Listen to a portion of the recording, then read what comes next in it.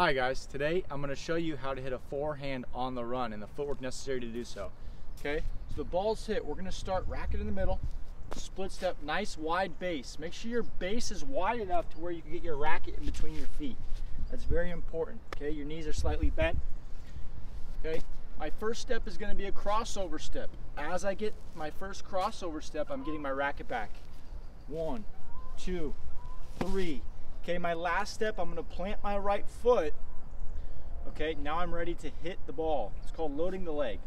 Racket back, now I hit, and as I hit, I'm gonna slide my feet. So check out my footwork. My feet are touching. Okay, now after I hit, all my weight is gonna be on my right foot, and now I gotta get back to the middle of the court. So I'm gonna push off the right foot, crossover step, crossover step, and then that's enough for me to get back to the middle of the baseline. Split step, now I'm ready for the next ball.